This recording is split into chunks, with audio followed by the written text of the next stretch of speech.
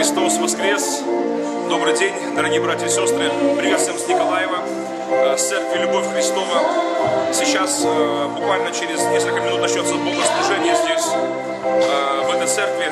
Как вы видите, собирается, приходят уже на служение. И на сцене репетиции уже проходят трансляция совершается. Пусть в эти дни Господь, Христос воскресший, Он воскресит души людские, а пусть а, те, кто не знают Его еще, кто еще во гробах греха, проклятия, беззакония, выйдут из этих гробов, пусть чудо воскресения совершится во имя Иисуса Христа. И, дорогие друзья, молитесь о реформации православной церкви, с Богом до встречи на небесах и на земле. Аминь.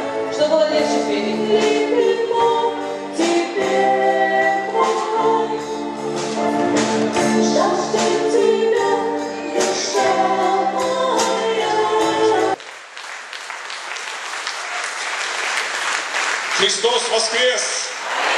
Христос воскрес! Христос воскрес! Христос воскрес из мертвых, смертью смерть поправ, и сущим во гробах жизнь даровал. Все вместе поем. Христос воскрес из мертвых, смертью смерть поправ, и сущим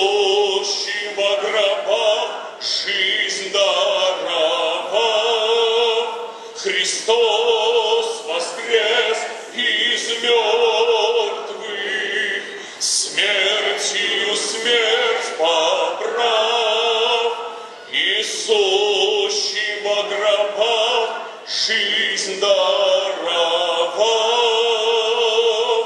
Аплодисменты воскресшему Спасителю Иисусу, Царю царей.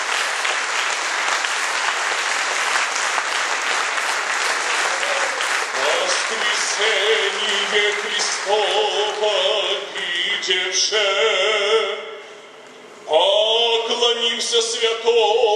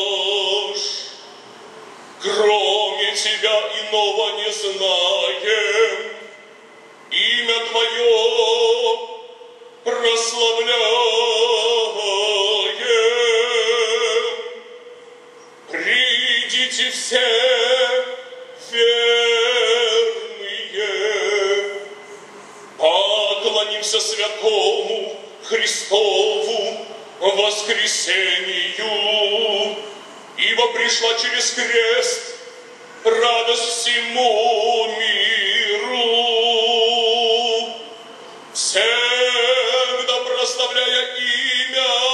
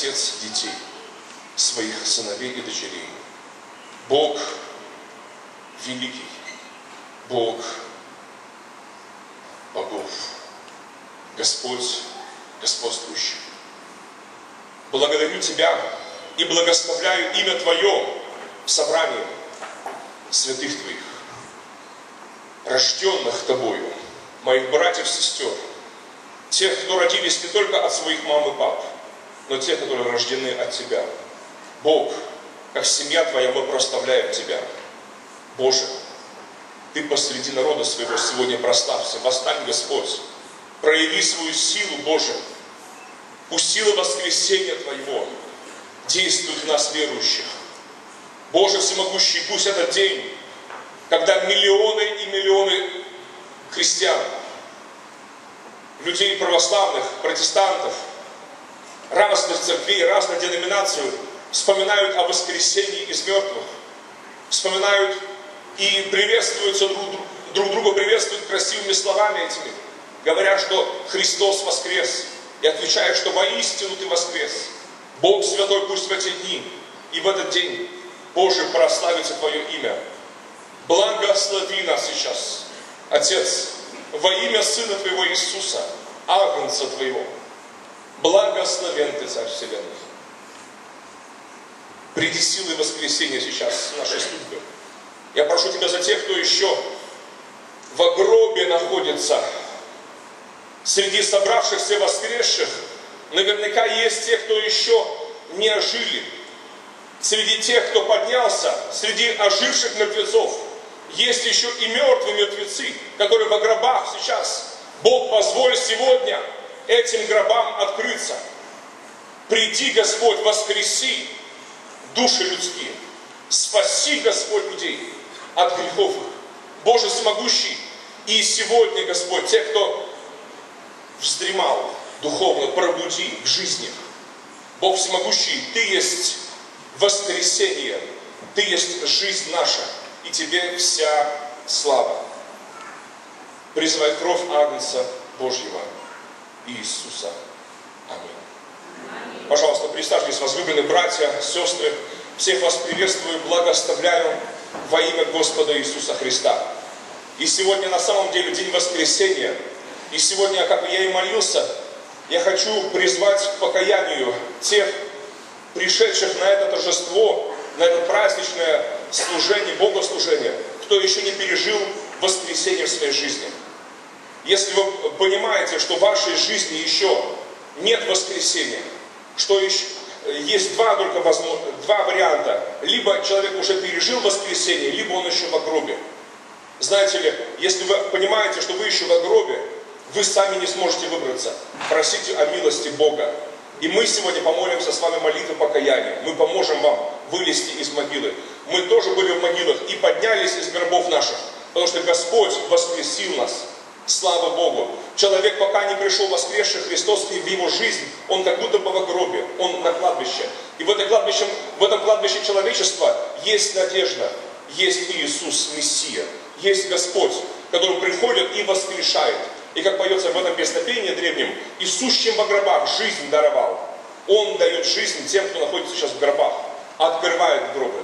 Есть гроб, гробы проклятий, беззаконий, грехов всевозможных – и эти гробы открываются, друзья, воскресением Иисуса Христа. Аминь. Я Бога благодарю за эти две недели семинаров. Я э, очень Богу благодарен за эти дни, э, когда э, имел возможность быть с вами в присутствии Бога, быть вместе с вами, благословлять Бога, благословлять Николаев, благословлять Николаевскую область. Я думаю, что эти семинары эти дни семинаров, эти служения, они дадут большой резонанс э, духовный здесь, э, в Николаевщине. Э, и я ожидаю этого. Я думал изначально, что я увижу это пробуждение еще в эти дни. Но потом подумал так сегодня утром, наверное, э, не надо так бежать впереди паровоза. Бог знает когда, но эти круги по-любому уже пошли уже, духовные круги, как на воде, знаете ли, э, уже семя брошено. И многие верующие, задающие вопрос себе, это уже факт, что люди всколыхнулись, пробудились. Бог хочет, чтобы мы думали своими мозгами. Бог хочет, чтобы мы осознавали кое-что. Чтобы мы не сидели на месте, чтобы мы не, не, не, не были законсервированы. Чтобы мы развивались. Потому что если мы не идем вперед, не развиваемся, мы деградируем. Да не будет такого, э, такого с христианами. Слава Иисусу Христу! Друзья мои, братья, сестры, Пасха – это великий день. Но календарная Пасха закончилась, но сегодня по, э, традиции, по традиции православной, я на семинаре об этом рассказывал более детально, э, как раз э, празднество воскресения Пасха, Песах, э, прохождение мимо. Да? А Пасха это, это праздник, но это не просто красный день календаря.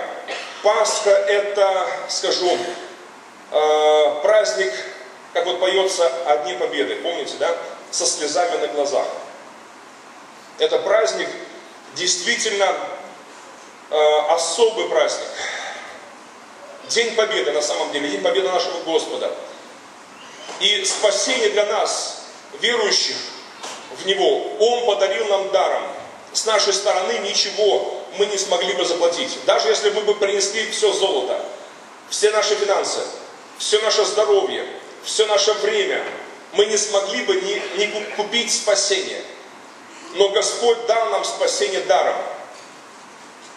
Оно даром не потому, что оно бесплатно вообще. Оно даром, потому что для нас невозможно было купить этот билет. Оплачено самим Богом, Его святой кровью, страшной жертвой. Праздник Пасхи – это еще, скажу, в большей степени праздник э, не только жизни, но и смерти. Жизнь и смерть – это все так близко, так рядом.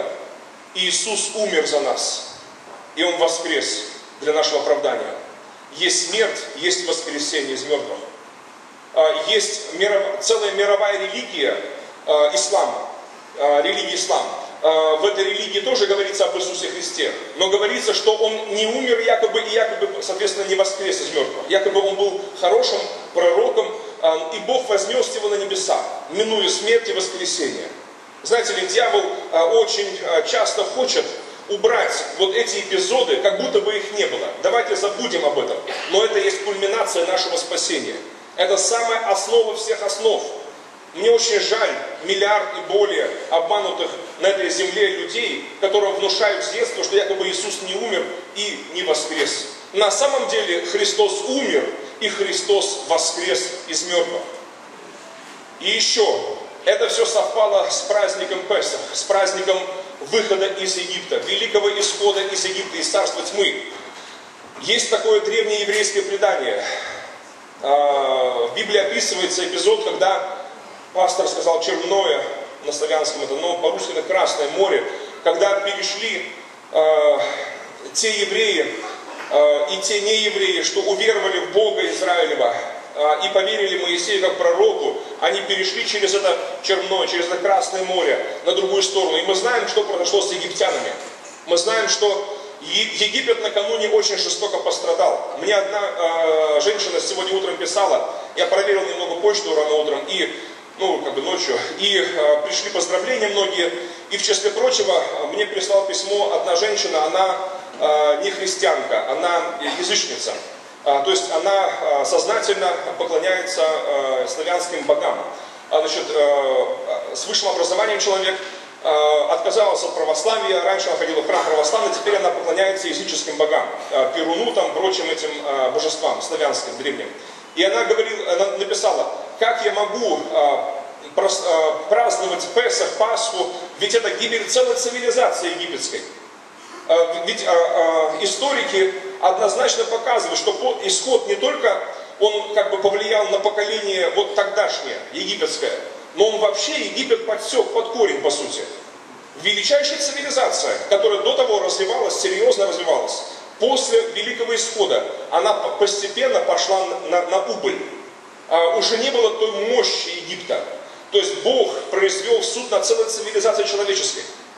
Но я написал той женщине, что, знаете, это еще не все. Вспоминая о том, что было тогда, ну я вкратце написал так, скажу, что вспоминая то, что было тогда, а, гибель цивилизации или начало гибели великой цивилизации египетской, я знаю, что будет еще величайшая погибель нынешней цивилизации. Желают то, кто или не желает, верит кто, кто-либо или не желает. Многие посмеиваются над этим, хотя сегодня все меньше и меньше скептиков в этом отношении. Но Библия еще 2000 лет тому назад говорила нам и говорит по сей день, что нынешняя земля и небеса сберегаются огню на день суда, и будет погибель нечестивых человеков.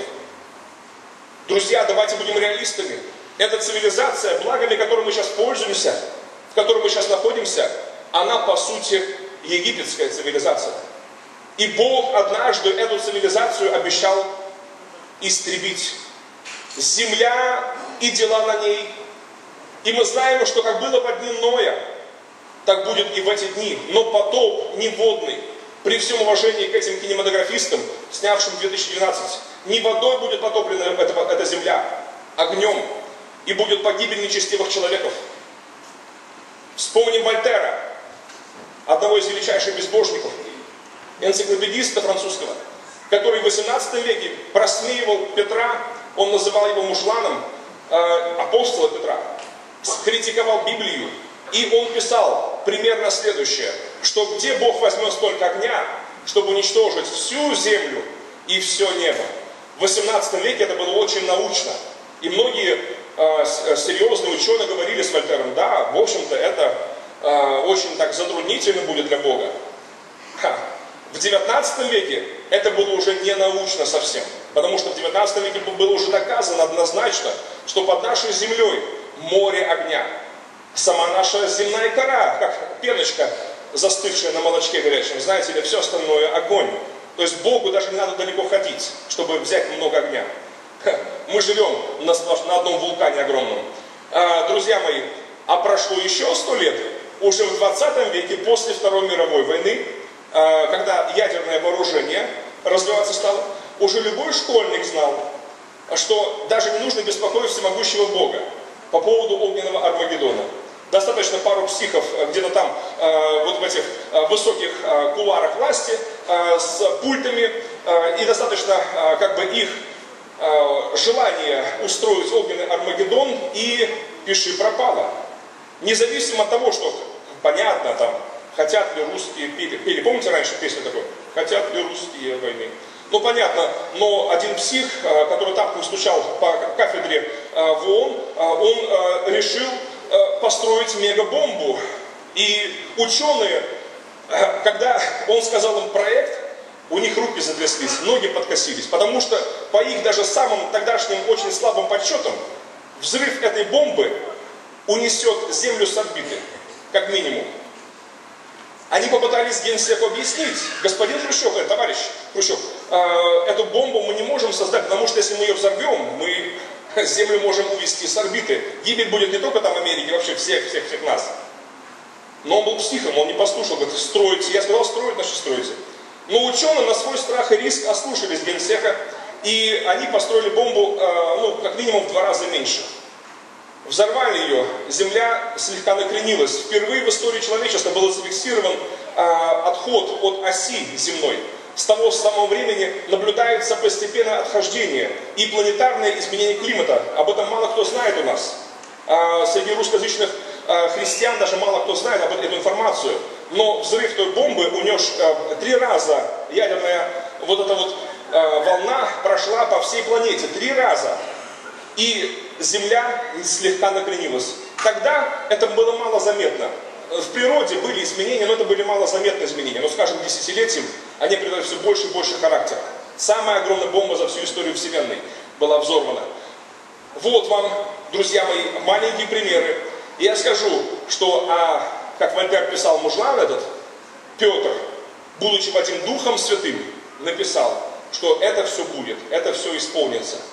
Но, друзья мои, не будем печалиться тому факту, что земля обречена. Да, жалко, конечно, а могло быть все совсем по-другому. Жалко, конечно, что все так завершается. Но не будем печалиться сильно, не будем сильно расстраиваться, потому что Бог обещает нам новую планету. Бог обещает нам новую землю, новую атмосферу, где не будет старости, не будет смерти, не будет разложения, не будет войн, будет все иное. И, конечно, а, при нашем потенциале а, разрушений мы могли бы загадить и вторую планету. Что нам стоит? Но Бог предусмотрел поэтому на новой земле будут новые творения жить. Поэтому Он не всех туда переселит. Он не всем даст новую землю, друзья мои, и новую планету, а потому что мы бы ее снова загадили, только еще быстрее бы загадили. Но Бог туда помещает новое творение свое. И если ты хочешь жить на новой земле, на новых небесах, то приготовься, прими Иисуса Христа как Спасителя своего, Бога своего, Господа своего, и будешь спасен. Праздник исхода. Исход совершается по сей день. Каждый покаявшийся грешник – это еще одна душа, перешедшая из этой, как бы, э, из царства земного, царства небесного, из царства греха, проклятия, беззакония в царство Бога, в царство святости. Исход совершается. Как тогда был Моисей, сейчас Иисус Христос, Иисус Мессия. Он руководитель этого исхода. Есть христиане-умники такие, которые не только, ну Иисус хорошо, но особо не слушаются Его такие будут погибнуты. Такие погибнут просто христиане. Но те, кто слушается Его, слышат Слово и исполняют Его, они благословенны. Они пойдут в Царство. Есть вот это предание, которым я э, было упомянул в начале. Еврейское предание, что когда э, евреи были уже на, на другом берегу этого Красного моря, они увидели то, что они увидели. Они увидели трупы этих э, египтян, солдат, Э, они стали ликовать. И в этот момент они увидели плачущих ангелов Бога на берегу Красного моря. И ангелы сказали им, что вы радуетесь, но не сильно радуйтесь, потому что небо плачет, потому что погибло творение Бога. Погибли те, кого Бог создал, такие же люди, как и вы, только неверующие. И мы спасаемся, и мы Бога благодарим за спасение наше, но есть время и попечалиться. Ведь не все на спасительном ковчеге, не все взошли на борт спасительного ковчега. Дверь Иисус Христос открыт. Иисус Христос открыт для всех. Но не все принимают Его приглашение. Далеко не все. По разным причинам. И очень жалко. И мы увидим трупы тех, кто действительно отказался. Это страшно, конечно. Но Бог отрек всякую слезу сочей наших. Конечно, ужасно представить себе, что кто-то из наших родных, близких людей окажется по другую сторону баррикады. Страшно представить, если чей-то сын, чья-то дочь, чей-то папа, мама чья-то, чьи-то внуки окажется по другую сторону баррикады. Это, это ужасно. Поэтому пока мы здесь, участники исхода, мы должны приложить все усилия для того, чтобы убедить наших родственников, убедить наших знакомых совершить этот исход с нами вместе. Мы должны приложить это усилие. Хотя мы вспомним, допустим, Лота, да, а, когда а, предлагалось зятьям тоже выйти, они, в общем-то, не захотели. Не все, не все захотят, не все согласятся с планом исхода как вот тогда я говорил на том собрании, что были те евреи, которые отказались, часть евреев, которые отказались с планом Божьего спасения тогда. И не послушались Моисея, посланца Божьего. Они, они проигнорировали даже после всех этих казней, даже после всех этих чудес. Для кого-то даже чудо это не является как бы доводом, доказательством. Они были ожесточены, они остались. И скажу, сегодня тоже есть такая категория граждан, которые видят чудеса и знамения, однако же не слушаются Бога, остаются в неверии. Это их право, это их выбор, но это выбор ужасный. Лучше последовать за Иисусом, великим первосвященником, в Царство Света. Представьте себе, друзья, во времена атеизма нам говорили, что Бога нет. Нам говорили, что Бога не существует что вообще жизнь, она, вот как вот нам говорил по биологии учитель, лампочка перегорела, ее что? Ее ж не хранят, ее просто выкидывают и все. Вот наша жизнь перегорит и все, и выбросит. Печальная судьба. Знаете ли, но если бы смерть была бы естественным состоянием для человека, если бы она была, смерть была бы благом э, и двигателем для человечества, как говорят эволюционисты, э, утверждающие до сих пор, есть такие невежды, что якобы, мол, от обезьян, что наша мама там шимпанзе, там папа орангутанг там или кто-то еще. Ужасно, конечно. Хотя сегодня эти уже теории уже никого критики не выдерживают, но по-прежнему, как говорится, цирк уехал, но некоторые еще остались еще. Сегодня поэтому более просвещенные как бы, а, ученые и политики уже как бы осваивают другие теории, что вот переселенцы с а, иных планет, инопланетяне нас создали. Потому что после восхищения у оставшихся будет э, выбор очень невеликий, поверить этой гадости, этой лжи. Но, друзья мои, нас создал Бог. Нас создал Бог, Царь, великий Бог. И Ему вся слава, друзья мои. И, конечно, если бы смерть была бы естественной для человека, то на похоронах никто бы никогда слезинки не проронил бы.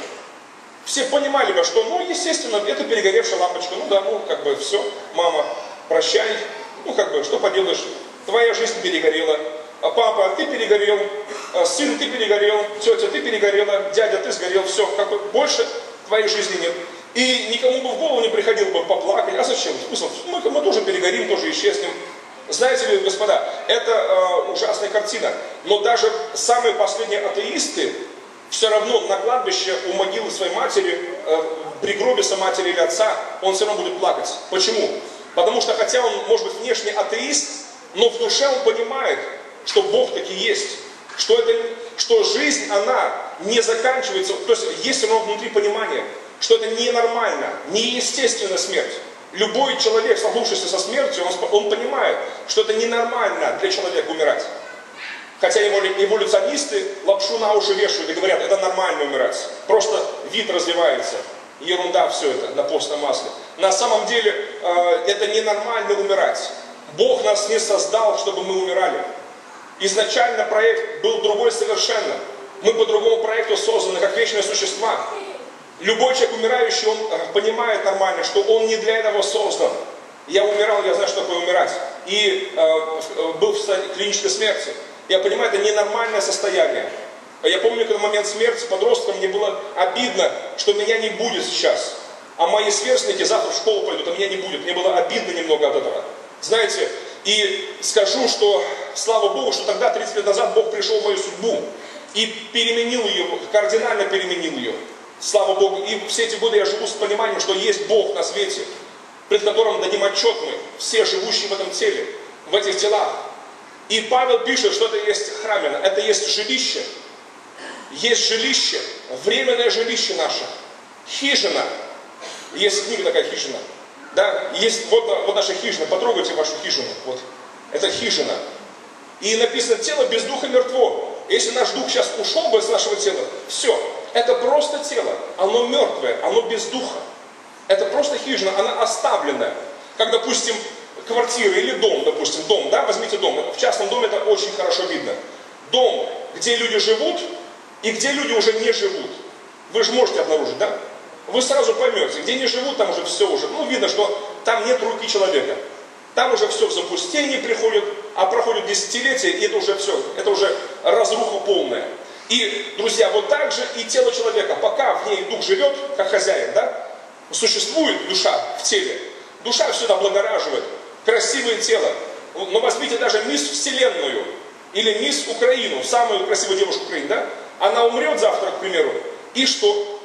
Пройдет месяц-два, и что от нее останется? Пройдет год, два, десять, что от нее останется? Тело, дух ушел, и самое красивое стало безобразным и ужасным. И люди, люди нормально отворачиваются, фу, нет, это, это только лишь э, люди с особой психикой, э, эти врачи-патологоанатомы могут как бы э, иметь дело с такими телами. Вот, но уже нормальный человек, он не может как близко находиться с такими останками человеческими. По долгу службы я бывал на таких моментах, когда э, тела долго лежали, э, без духа, будем договориться, э, и уже разлагались и по долгу своей профессии, как бы как священник традиционно православный, и отпевал, хоронил таких людей. А, но, друзья мои, это, это печальное зрелище, то, что остается от человека. это, скажу, э, знак для нас всех, что мы существа вечные. Сталкиваясь со смертью, мы понимаем, это ненормально, это не для нас. Если бы старость была бы нормальной, люди бы не придумали бы косметику, а, много всего остального, знаете ли, а, и, и, и прочее. Люди очень много тратят, чтобы быть, казаться помоложе. Почему? Потому что в нас заложена другая жизнь, оказывается. Мы изначально другая жизнь. И когда мы придем пред Господом, мы будем молодыми. Постоянно не расстанусь с Иисусом, буду вечно молодым.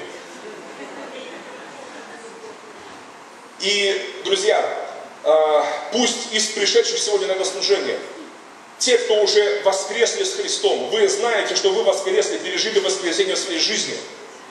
Просто сегодня будете прославлять Бога по-прежнему и дальше, и живите воскресением Христа.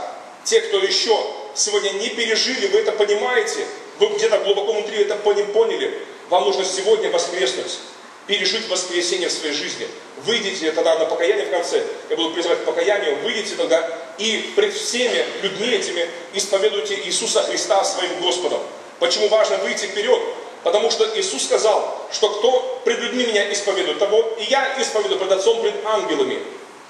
Представьте себе, ваше имя сегодня Бог может, сам Господь, на небесах, Иисус Христос, пред своим небесным Отцом назвать, пред всеми ангелами, вот это да. Это не просто попасть в вечерние новости украинского телевидения. Знаете ли, это гораздо круче.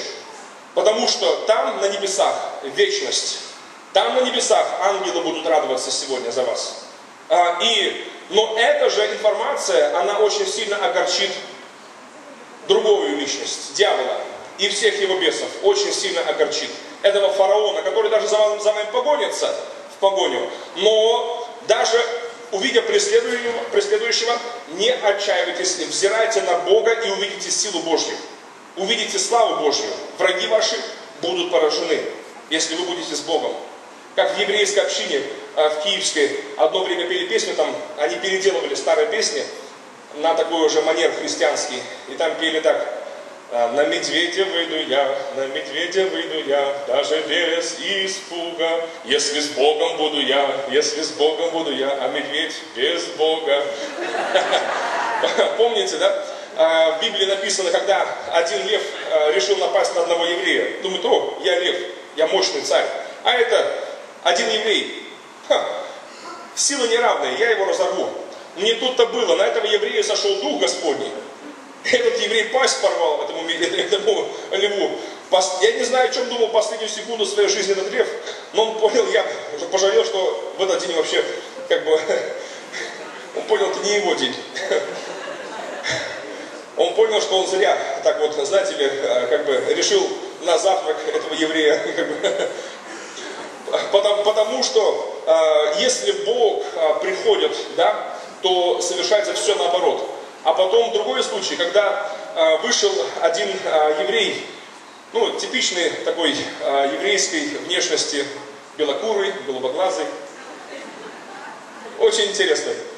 Да, и навстречу вышел такой дядька, волосатый, огромный такой, мощный.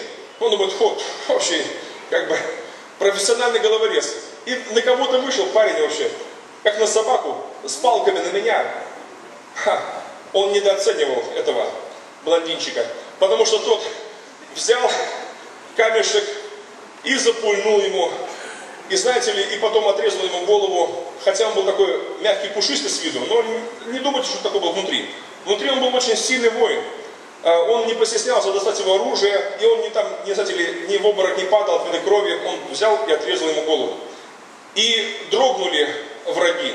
Они поняли, что если вот а, такой парнишка взял и убил ихнего главного вояку, то что же армия Израиля, если на нее сойдет Дух Святой? Если Дух Господний, если Дух Бога Израиля будет на этой армии, с ней лучше не сражаться.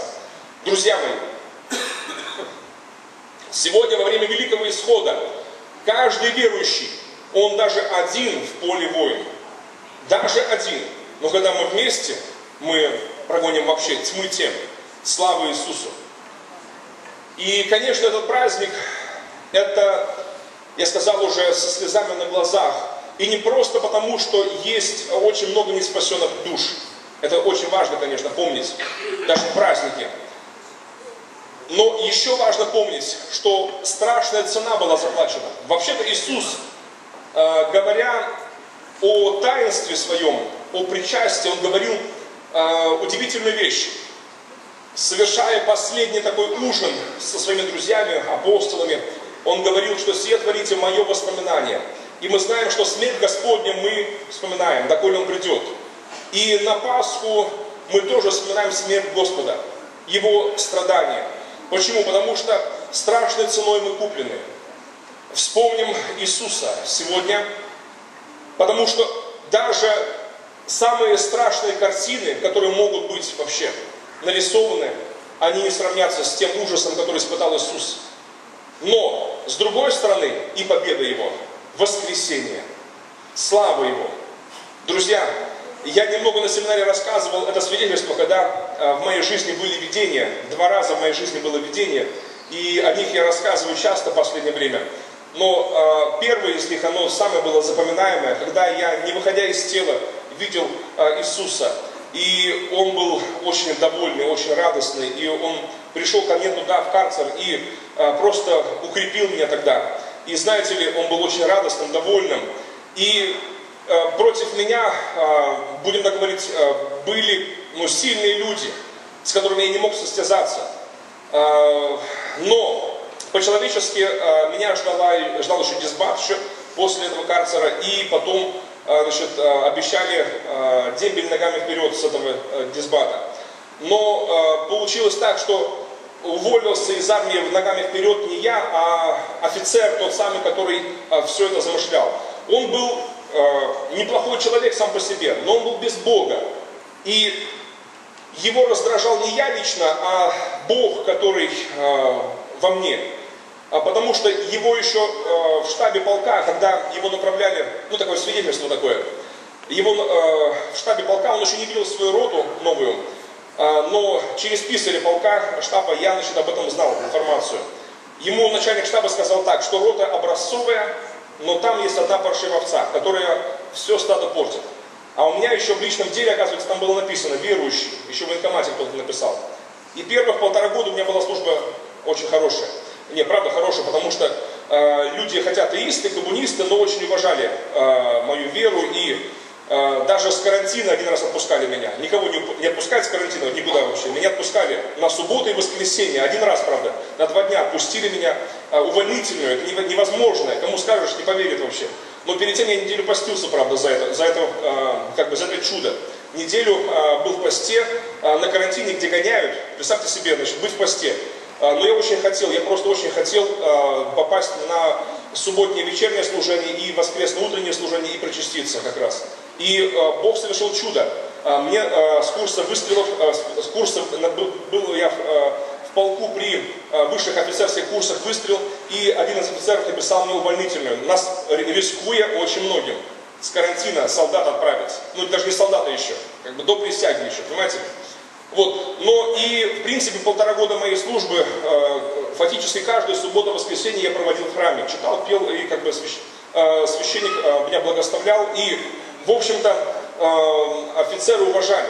Э, но э, вот последних полгода было очень тяжело, потому что пришел новый ротный командир, который посчитал, что верующие в его роте, это на самом деле, как на штаба говорил, это как бы, ну, проклятие. И все, и моя служба началась такая, последние полгода я в основном на гауптвахте и чаще всего в карцере провел. То есть, как бы, ну, выхожу на свободу день-два, а, значит, э, и снова день, два, три меня сажают на гауптвахту. И чаще всего, э, иногда в общую камеру, но я, э, мы там общаемся, а, значит, молимся с ребятами, они, они вместе со мной молятся, знаете ли, интересно, хотя там в основном были не русские, а, таджики были, узбеки, чеченцы, азербайджанцы, но Бог давал слово к этим людям, и они слушали, удивительно, Бог давал слушать меня им, и мы вместе молились с некоторыми из них.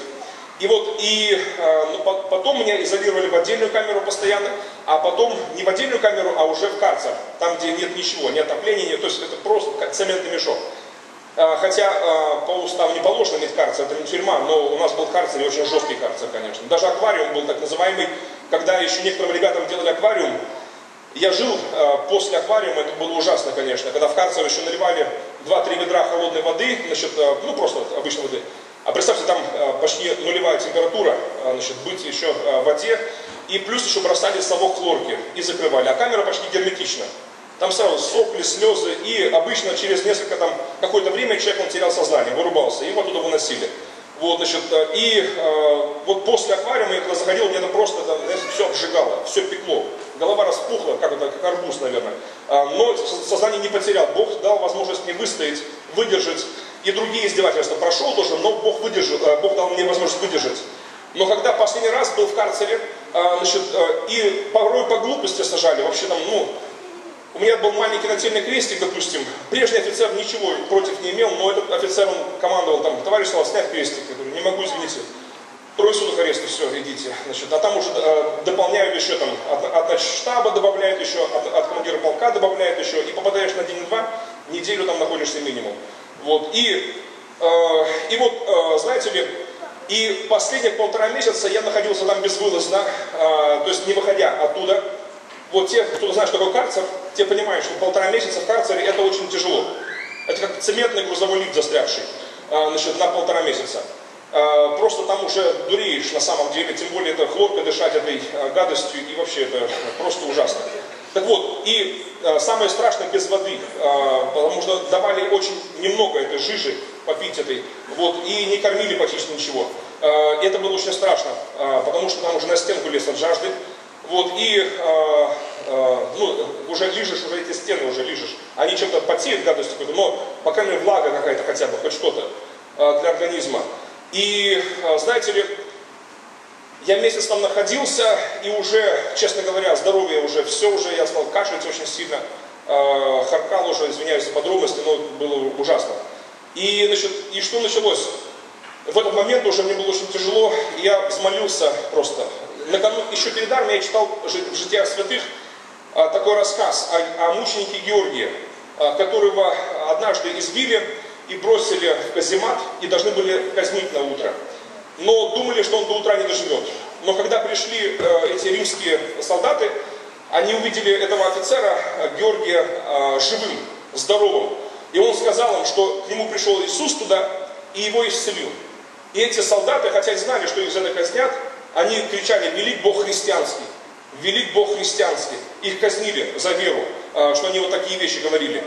А самого Георгия а, позже казнили. Но знаете, вот этот эпизод меня очень сильно затронул, что ведь Иисус пришел к нему, и я просил а, вот об этом. Я не думал, что будет видение, правда. Я думал, просто это подкрепление какое-то будет определенное. И я говорил, Иисус, пожалуйста, кого еще не просить?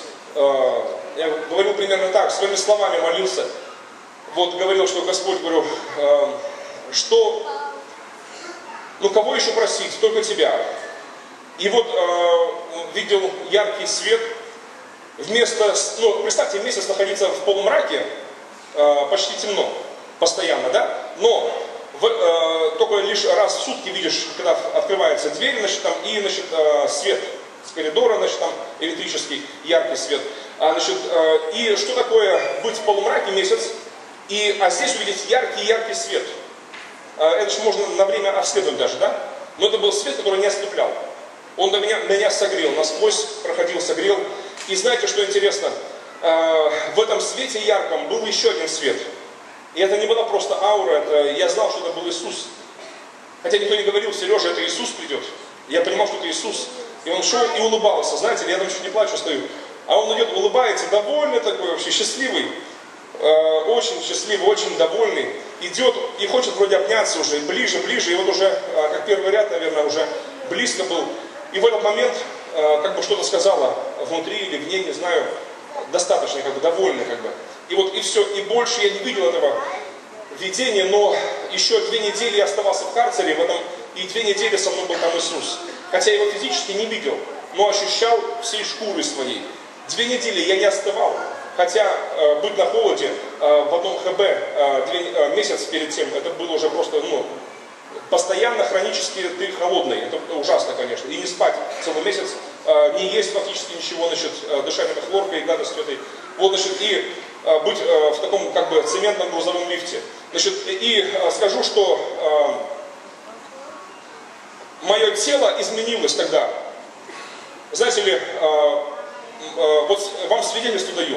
А, какие бы ни были мы, мы страшных обстоятельствах, если мы с Иисусом, то это хорошо. Потому что потом я даже размышлял такими, думал, таким, э, такие мысли были у меня.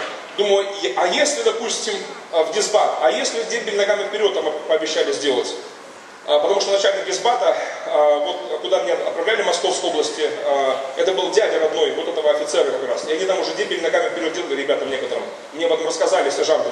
Но насчет с Кантемировской дивизии соседней. Но что интересно, я подумал так, что даже если дисбат, даже если что-то там страшное, все равно, если вот с таким Иисусом, то это уже будет как рай. Даже в ад отправь, вот с таким Иисусом это будет как будто бы рай. Представляете? Но внутри был ответ, что этого не будет. И скажу, доверьтесь Иисусу. Друзья, давайте будем верить Ему, верить нашему Господу Иисусу Христу Спасителю. И еще, а, у нас немного времени, я хочу перед тем, как призвать к молитве, сказать еще пару слов, э, не очень хороших слов. Дело в том, что этот праздник, он еще разбавлен оккультизмом очень серьезно, к сожалению. Те, кто были на семинарах, э, те понимают, о чем я говорю. Э, связано это и с культом мертвых. Пожалуйста, у вас будет следующее воскресенье пост, друзья, я предлагаю еще, те, кто будут брать пост, еще помолитесь, знаете о чем?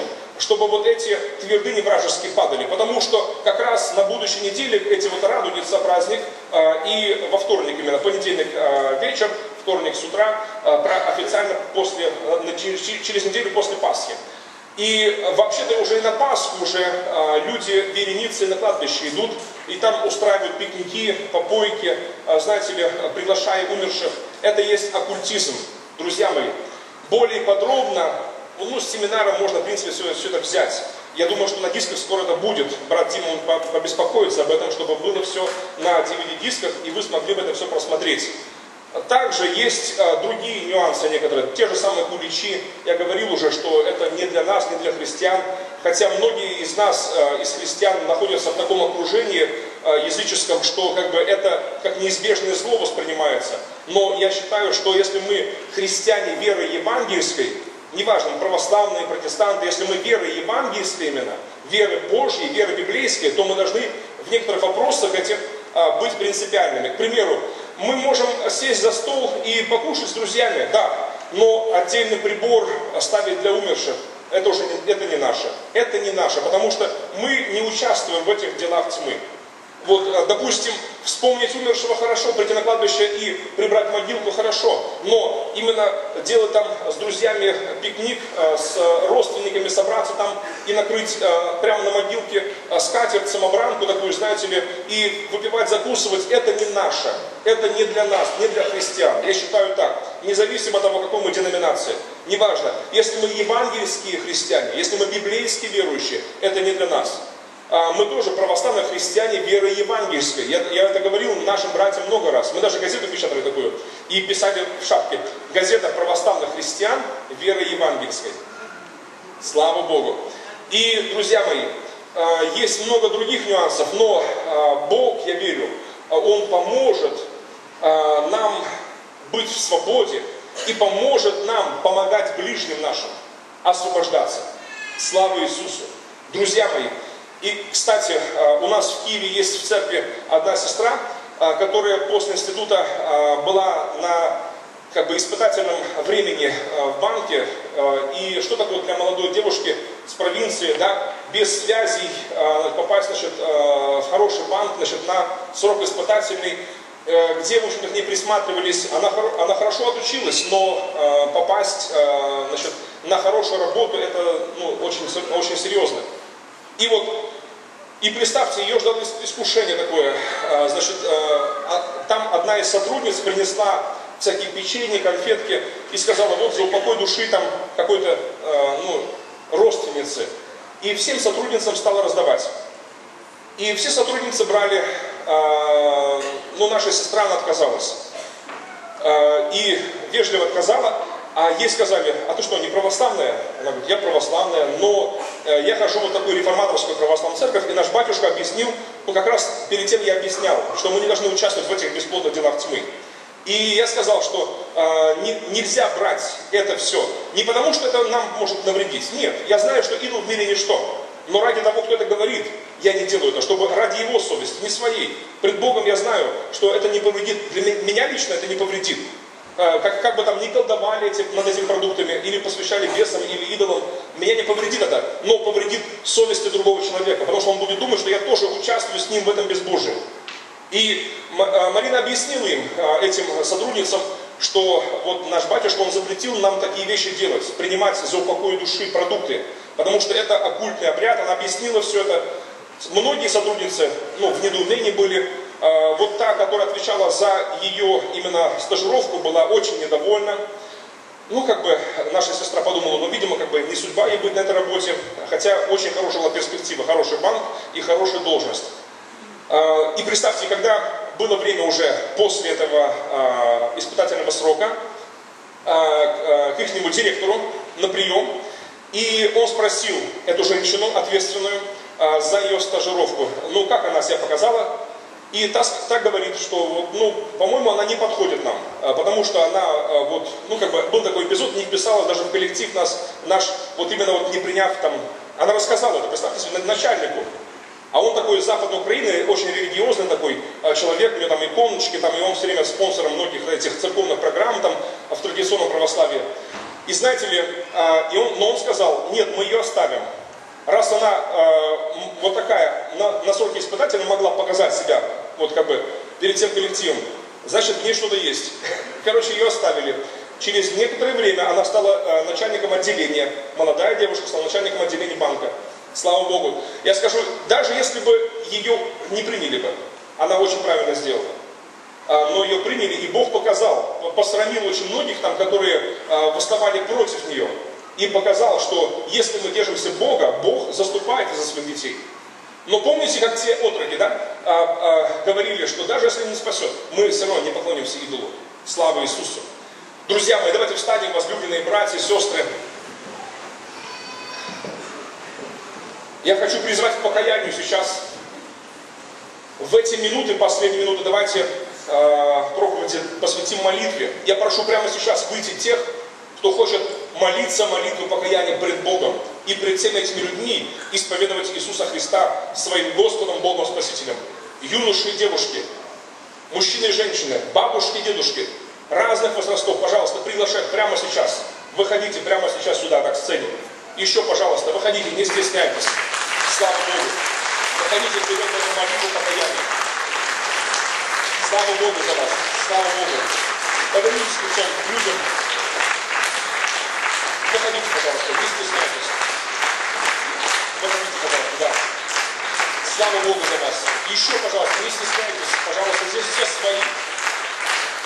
Пред, пред верующими исповедовать Иисуса Христа это вообще благо. Потому что большинство присутствующих вас прекрасно поймут. Слава Богу. Еще, ждем еще людей. Не откладывайте на завтра, что нужно сделать сейчас сегодня. Еще скажу, вы выходите те, кто уже каялся, но получилось, что вы отступили. Сегодня день вашего возвращения. Не слушайте дьявола, что грехи ваши будут непрощенными и прочее. Все это ерунда. Бог простит вас. Нет такого греха, который Бог не мог бы простить. Лишь наше ожесточение, лишь наше неверие. Знаете, Бог простил нас во Христе Иисусе 2000 лет назад какими мы есть. Он принимает нас. Слава Богу, слава Богу. Присоединяемся к этой молитве, очень важной молитве. Слава Богу, заходите, да. Слава Иисусу.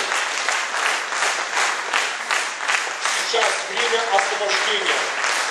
Вот Пасха Божья. Вот Пасха настоящая. Это вам не куличи, это вам живые души, которые возвращаются в Дом Небесного Отца. Это самое великое чудо возвращение детей к Отцу своему, возвращение к Богу. Выходите, пожалуйста, да, присоединяйтесь к этой молитве.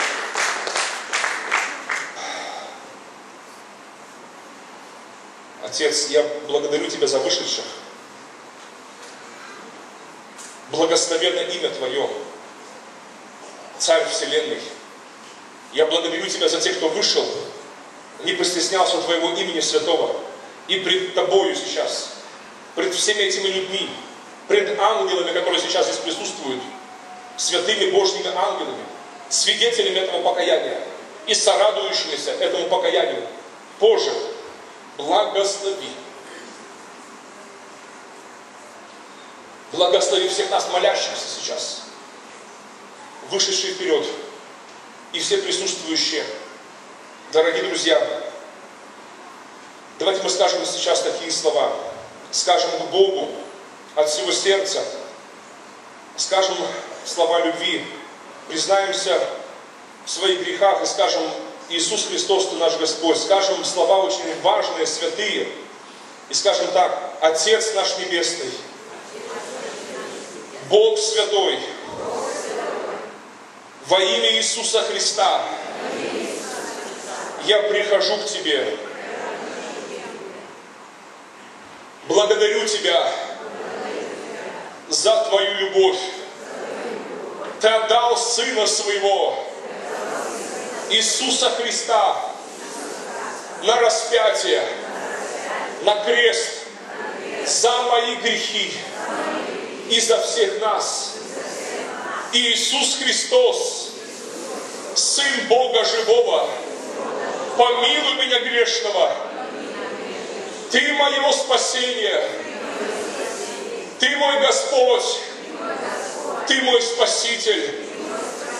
Приди, Иисус Христос, живи во мне, царствуй во мне. Благодарю Тебя, мой Бог. И во имя Твое, во имя Иисуса, я отрекаюсь от дьявола, отрекаюсь от Его царства. Я совершаю великий исход из царства тьмы в царство света, из царства земного в царство небесное во имя Иисуса. Благодарю Тебя за Пасху. Ты моя Пасха. Христос. Кровь Твоя святая омывает меня от всякого греха. Аминь. Духом Святым Своим наполни нас сейчас. Наполни мою жизнь. Веди меня, Господь, чтобы и начало моего христианства, и конец моего христианства, финиш моего христианства было благословлено, Господь Бог. Во имя Иисуса Христа. Аминь. Отец, я благодарю Тебя за вышедших вперед. Господь, и как Ты сказал в Слове Своем, молю Тебя, Боже, на основании Слова Твоего, Ты сказал, что кто пред людьми Тебя исповедует, того и Ты исповедуешь пред Отцом, пред ангелами. Господь, прямо сейчас назови их имена пред Небесным Отцом Иисус Христос, пред ангелами, на радость всем небожителям. Пусть Господь ликует небеса сегодня над Николаевым, Господь. Боже, пусть не ликуют небеса сегодня над областью Николаевской. Во имя Иисуса Христа. Боже, благослови, Господь. Благослови нас. Во имя Иисуса Христа. Аминь. Аминь. У вас наставники есть. Вы можете пройти сейчас прямо вот э, с этими сестрами, которые могут помочь вам сейчас. Слава Богу. Я хочу в завершение благословить вас, да, друзья. Я взял этот Тавид опять. Я очень люблю благословлять старым таким добрым библейским благословением. В костеле тоже благословлял. Прошлое воскресенье тоже решился этим благословением благословить.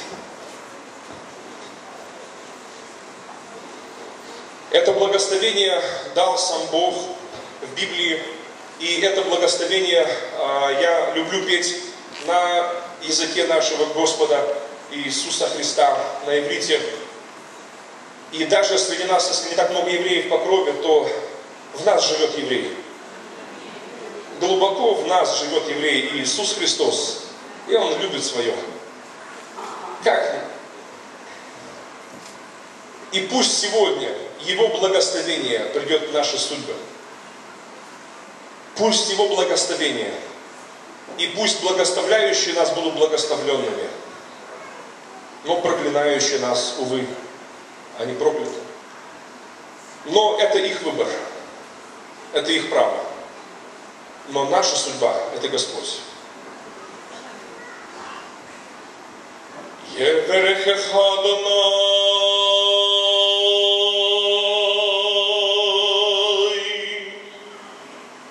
וישמרך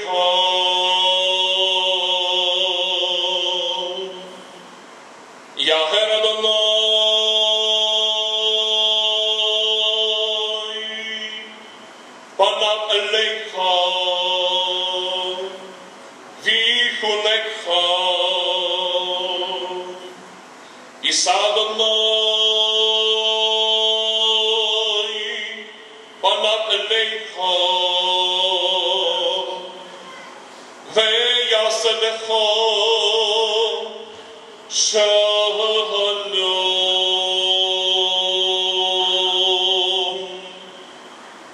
Да благословит тебя Господь!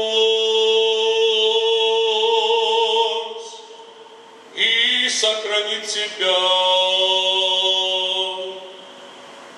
Да призрит на тебя Господь светлым лицом своим и помилует тебя. Да обратит Господь лицо свое на тебя